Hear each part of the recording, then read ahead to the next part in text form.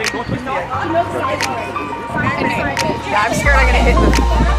Here, here, look, Michelle, come back.